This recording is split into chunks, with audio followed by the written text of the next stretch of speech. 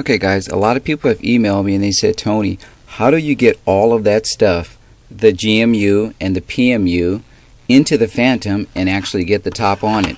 Well, I'm going to show you the location for my tricks of the trade. What I do is I actually put a little bit of anti-static um, rubber paint right over two connections.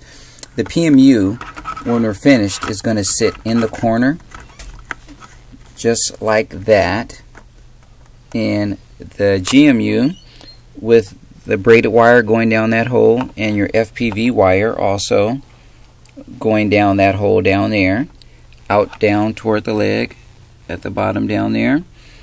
But what you're going to do is you're going to take this sort of the red wires looping back over.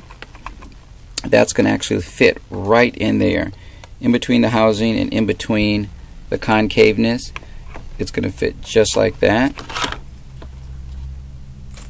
this is going to come over. And so what you're going to do is as you close the top you're going to fit the unit in. Just making sure you're not pinching any wires or anything like that in between. And then lay the top over. Get get all your wires in. Get your GMU in and push it down like that. Follow around with that unit there. Look around back get all your wires in and there you go. That's how that unit closes down just like so. And then you're going to hold that together flip it upside down and then go ahead and put your four bolts in first. Uh, closest to the leg. That one right there that one in that hole that one back there and then that one. And then that'll give you a better foundation to work with.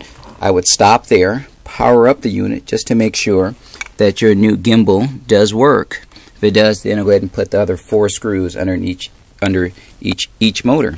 And there you go. That's how you get it all together.